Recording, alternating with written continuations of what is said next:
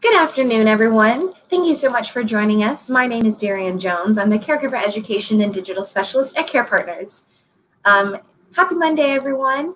Um, we took a break over the weekend with these hot topic segments, but we're back and we have a really great guest today. Cheryl McClure is the CEO of You're First Care. Um, it's a home care agency, and she's going to be telling us some great at home activities and things to do together to help keep us entertained right now. Um, I do want to remind everyone that we'd love to hear about what you're doing at home, how you're staying entertained, um, and just to hear from you. We miss you guys so much. Um, so if you have any stories or anything to share, we'd love to hear from you. Um, you can email info at carepartnerstexas.org.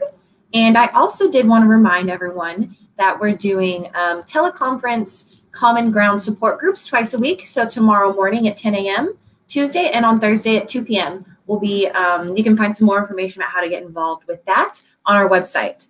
Um, and with that, um, we are going to bring our guest out. Um, hi, Cheryl. Hi, Darian. Hi, everyone. How are you? Thank you so much for joining us. My pleasure. Can you tell us just a little bit about yourself and about You're First? Absolutely. Um, You're First is considered private duty, and we care for loved ones wherever home is. So we are in people's brick and mortar home. We are in independent living communities. We're in nursing homes and wherever um, that home is to provide that extra care that people need. Um, we all of our staff are certified, which in this day and age is really coming in handy. Um, they're all CNAs, EMTs, uh, um, hopefully everybody knows those acronyms, certified nurse assistants and that. So they're really good at what they do, but really able to spot a lot of, um, you know, morbidities and things that might be coming on. This day, I mean, just given the, you know, kind of the atmosphere that we have going on, it's we specialize in cognitive impairment. Along with that comes a lot of, you know, anxiety, some depression, things like that. So it really um, is helpful for staff to have that training to kind of be able to sit and talk to people because I think, you know, the most calm person can have a little bit of anxiety in this kind of situation that we're going through. But keeping everyone calm, practicing yoga, or even I'm going to talk a little bit today about seated exercises, things like that. Um, it really makes a big difference. But we are honored to care for people um, still today. We're honored. We are so grateful that We've been able to keep every single client that we have safe. Every one of our caregivers are all safe. We have no COVID, which that's what we're striving for. So, you know, it is just a different day and time. But you know what? It's a lot of things are for the better. I think we're going to find um, we're going to come away with some really good things out of all of this. Yeah, it's been an interesting time for sure, but I think it's been a learning time for everyone. I know for us, um, it really got us ready for something ever happens in the future, we have a better plan in place. Um, but today, we're going to be talking about different activities we can do at the home and different ways to stay connected and just keep ourselves entertained. Um, and now we have a few people on. I'd love to send out the question what have you guys been doing at home to stay entertained or and just keep your spirits up? So feel free to comment at any time. We'll also be answering your questions um, and just let us know, chime in, tell us what you guys have been up to. Um, but I'll just turn it over to Carol for now. We can go ahead and get started. Okay, thank you, Darian. So um, I know one thing that I want everyone to keep in mind. Um, what a lot of people are feeling right now is kind of shut in, stuck in the house, looking for things to do. I think more people have cleaner homes than they've ever had before. Maybe your things you've been that get to do list but keeping in mind that we recognize our older adults, um, this is kind of a normal day for them. I mean, and there are a lot that are active that they do are you know can get out of their homes, but a lot of them um, don't have a lot of activities. They are at home, they watch television, they may have a few visitors. So keeping that in mind, it's always wonderful to kind of experience and maybe us be able to take a different look at you know what's kind of going on in their life. But there are so many different things that we can do and not all of them involve um, family members even getting you know having to sit there with someone and entertain them um, you know typical things that even my daughter and i made a tradition to do was crossword puzzles you know and or large um, big puzzles that you put together. They, you know, a lot of places you can even get online have very large piece puzzles, which make it very easy for people to handle that may have dexterity problems or vision, you know, some vision issues. Um, and so those are very much you can sit down, you can leave them as soon as you, you know, and just do them as often as you want.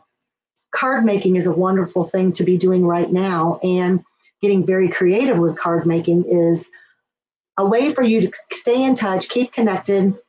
You know, maybe even if you're allowed to get out with a mask on, walk to the mailbox, put it in, and brighten up somebody else's day. So we will have online, I do believe, um, some access to ideas, but using you know feathers and buttons and ribbon and really um, brightening someone's spirits by making cards. So whether it's getting ready for Christmas and getting your Christmas cards together now that are homemade, or just to say hi, I'm thinking about you. Um, it's always nice to get something in the mail.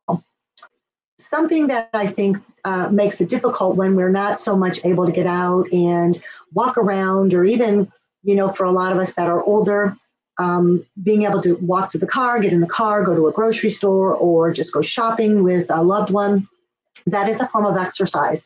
And when we are confined more toward, you know, into the home, um, it doesn't have to stop there.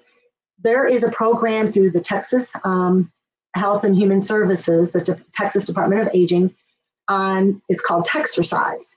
Uh, I can give you a lot of different information, but they will actually mail you. You can do it online, request it. They'll mail you a um, a disc that you can put into a computer or into a DVD player. It also comes with a booklet that has all of the instructions on how to do some wonderful exercises and it's all geared toward our older adults. So they're low impact high benefit um, least amount of fall risk. A lot of them are seated you're in your chair. So working off some of that energy definitely helps you sleep better at night. Um, something else is memory type games. Uh, we tend to, when we're not, you know, fully engaged, or maybe we talk uh, here and there, but getting away from a little bit of our everyday life, memory games, memory things that are you wouldn't even consider being memory, um, are extremely important. And there's a lot of different types of things that we can do. Um, one is really easy and kind of fun. Um, we put things on a tray, just pick any kind of tray. I don't care if it's a cookie sheet. And you will place, have somebody place, you know, 5, 10, 15, depending on how courageous you are and think how good your memory is. But you put them on a cookie sheet and cover it with a towel, carry it into the person, give them about one or two minutes to really look over that tray really well, take it away, and on a piece of paper, uh, on paper, write down how many items that you can remember that were on that tray.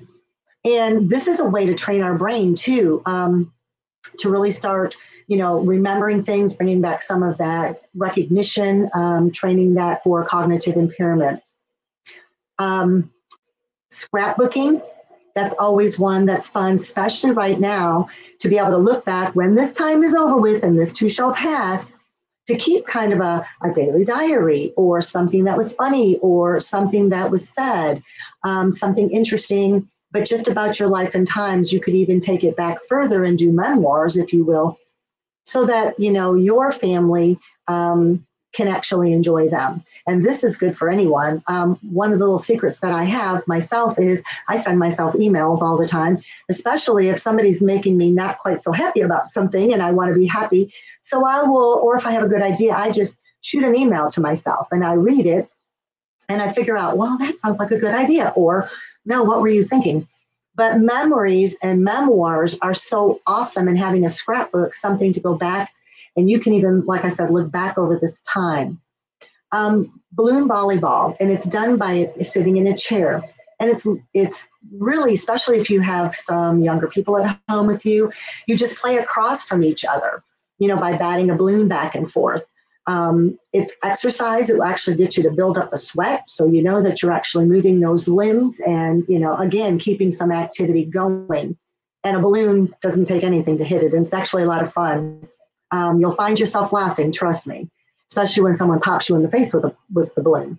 Um, music therapy. This is something that everybody, we listen to music and can actually control our moods.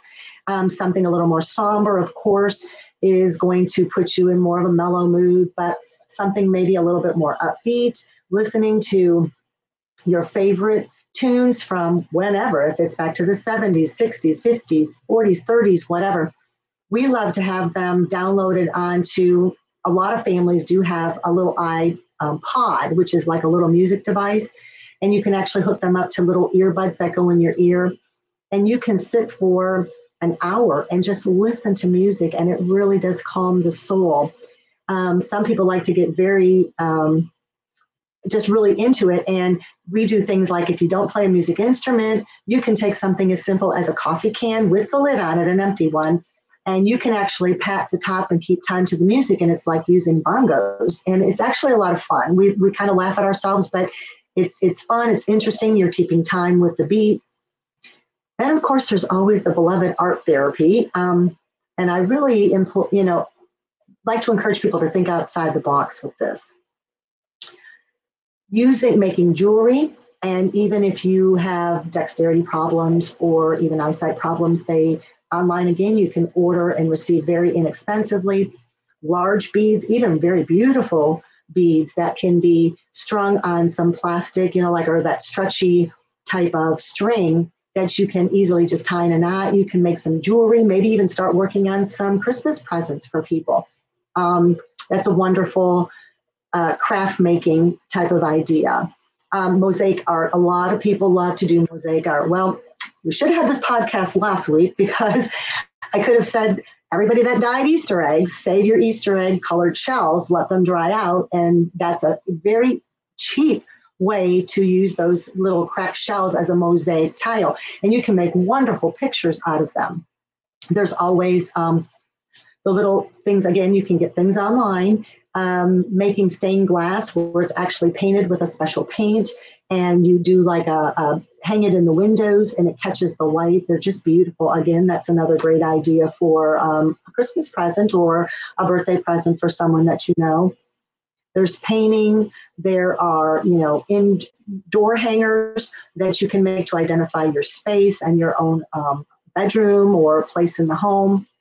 Um, of course coloring with color books and that we're not talking the kitty ones. We're talking about really nice, fun adult color books, and they make them that you use with colored pencils, and they're beautiful. You can also make wind chimes at home, and you can make them very inexpensively with a lot of things you just have around the house, whether they're with little pieces of wood, whether they're with pieces of glass or tin and be creative, very creative. And it's just listening to it. I have wind chimes hanging in my backyard. And when I talk to my mother, she's always saying, What's that beautiful sound in the background? It's my wind chimes. So it's always um, just a pleasant thing that makes me smile. There's rock painting. You know, like I said, there are so many different types of activities that we can do with art. Gardening. Now, most people think that, you know, we've got to go dig in the soil out back. Well, you can plant vegetables you can plant fruits. You can even plant little trees in pots. Um, you know, they and a lot of them, uh, assuming that the pot, you, know, can start with a small pot and get them to a bigger pot. It doesn't even have to be anything expensive, just pots you might have in your backyard, and just transplant them. But strawberries and um, peppers and green beans and all types of things you can actually grow in your pots. Um, another thing for gardening is doing a nature walk in your own backyard. Um, bird watch incorporate bird watching into that and it's kind of this is a cross between kind of gardening but an art therapy i put a little um, so hopefully you'll have access to this um, it's called cookie cutter bird feelers, and they literally are made they're just eight simple steps and you can use a cookie cutter and make your own different types of bird hangers. You just poke a hole through it, hang it with a string, and hang it on something in your backyard and watch the birds come and just peck at it and eat it. And it, they're fascinating and they're really fun.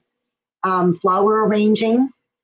And for those men at home, if you're just not so into um, doing flower arranging or anything like that, if you ever wondered how a florist got a white carnation to turn blue on one side or green on the other, um, it's a cute little thing you do an experiment. Take the stem of a carnation, cut it up the middle, put each half into a glass of colored food coloring, like you'd be dyeing Easter eggs, and watch the stem actually soak up the food coloring and it will change the color of that carnation or whatever flower you have. So those are always fun things to do.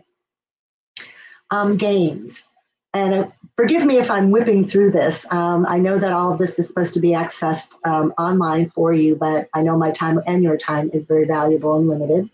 I Am did I just want to jump in real quick. No, no, no. I just want to jump in real quick and let everyone know that yes, the the resource list that Cheryl's talking about, um, I put in the comments. So it's going to be a PDF that you guys can access and everything that she's talking about. There's a list of all of these things, and she has even the instructions for some of the things like the birdhouse and um, some other things like that. So be sure to check the comments um, because there's a document for you guys.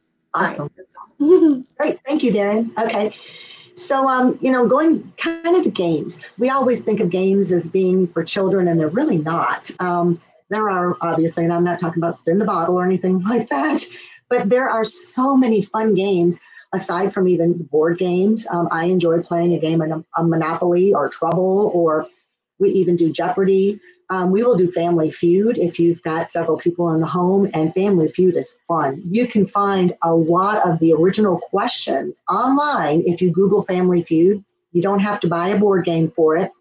Um, and it's it'll actually say survey says, and I mean it is so much fun. Um, prior to this virus that we have in kind of our little quarantine right now, um, we we do something called Memory Monday, and every Monday we have a community we go to, and we gather um, a lot of the older adults that live in the community, and we do a lot of these things that I'm talking about, um, and they love it. They enjoy it. They just can't wait for Mondays to come. But um, games, we have one that we will scramble. And again, this is kind of a game, but it's also for memory, and it kind of challenges you a little bit. It's you scramble a sentence, so it could say, "I really like it when you go to the store and buy me something special."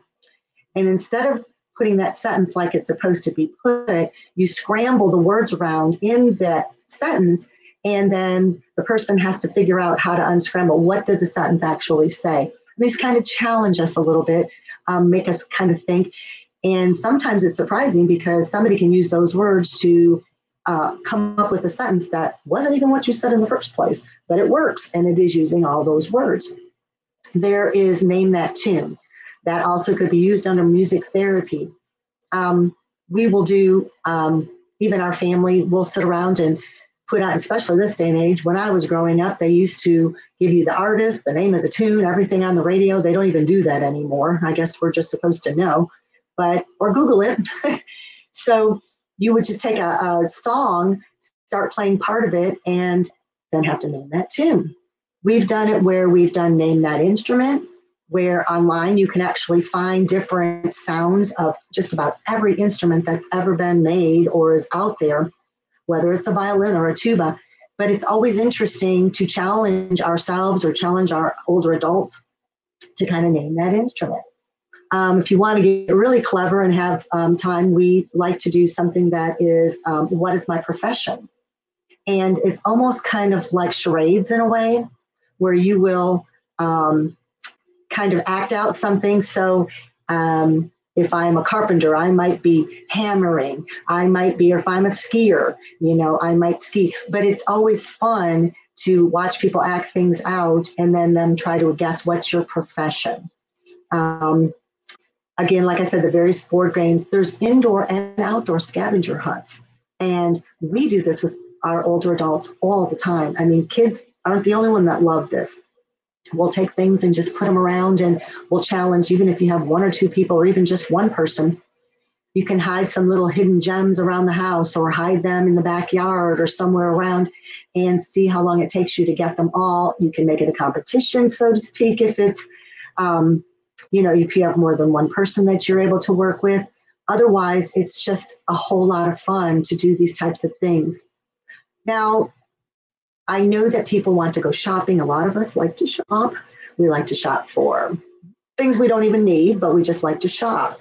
Um, setting up an indoor sh- um, shopping experience is a lot of fun. It's not only fun putting it together, it's a lot of fun to take someone shopping in your home. So, what you do is pick a space in your home, whether it is you have a table from your garage, put it in your garage, put it in your house. You can have one long table, you could have in your kitchen on the counters, but we pull household items out or even pieces of clothing or something. And it's almost like we would trade off with each other. But we would actually set out items that would be for sale. And we actually had that shopping experience. Um, we came up with this years ago. We had um, um, one of our clients, and we call him a client. She loves jewelry, loves jewelry. Now she has dementia or had dementia, and um, so a lot of times with dementia, you know, um, every five minutes can be kind of a new day, which a lot of times that could be a good thing. But so we we would take once a week. She would go jewelry shopping, and we would just take all of her jewelry out of her jewelry box, and we would actually set it up on a couple of different tables. So she would use her walker and go from table to table to table. And she would see her jewelry. It was like she was seeing it for the first time. She had no idea it was her jewelry and we would give her monopoly money and let her pay for it. Um, since then, we graduated to actual. It looks like real money, um, but it's the stuff we got, or we barter. But she just loved going jewelry shopping. She couldn't wait till each week come where she would get new jewelry, and most of the jewelry was stuff we were putting back out there again, other than her few pieces that she would wear every day. So it was just so much fun for her. Um, cooking. Cooking is always a lot of fun when you do it with somebody if you have someone that you're really kind of not so, maybe you don't want to um, put them at a stove or anything like that, there are so many different types of recipes that you can Google out there. One of the ones that we use a lot is called muffin pizzas, and they're so easy to do. Um, we take little bowls of ingredients and we, whatever you like, whether it's pineapple, pepperoni, um, cheese, mushrooms, green pepper, everything, little hamburger, whatever. And we would go get the um, pizza dough. And we cut it into little squares and we actually stuff them down into the into like a cupcake or a muffin pan. And then we just put a little sauce in there start going to town. People can make them any way they want to. You just fold them over you bake them for about 20 minutes or so. Usually we just follow the pizza recipe on the back of the dough and they will swell up and you have a wonderful muffin pizza. And they got to help or, or really create and make dinner and it's you're not even by the oven or the stove making salads cookies different things that um, you know starting to make ornaments for your tree right now a lot of people are um, i've even seen where people are decorating their house for christmas. They put the christmas tree back up. Those are always joyous times. I would encourage everyone to think outside the box or not even have a box. And it doesn't matter if it's you know april and we're coming into summer. Put up some lights. Think about preparing for Christmas. Just think about how far ahead you could be, especially if your loved one or even yourself are able to start doing some homemade things, whether you crochet or you sew, or if they can help. There's so many things that are no sew um, that you can make these individual things and be having your Christmas list in mind and, and just think maybe by the time July comes along, we're all out ripping and running now back in the streets. And you'll already have your uh, Christmas shopping done because you've made everything. And I find that people really take a, a, big pleasure in making things. It means a lot to the recipient too when we've actually taken time to make something for somebody we were thinking about. So um, I know that also on the PDF that Darian spoke about, there are a lot, I've got several um, kind of websites that you can go on, and they are virtual art museums, um, zoos. There are so many things you can do having the internet and putting yourself or a loved one in front of the computer. And actually, it's just like taking a virtual tour in the safety of your own home. So there are so many different things that you can do. Um, and I'd love to hear from people, um, ideas that they have. I would love to share even more ideas with you, but um, I guess it's my time to kind of wrap it up.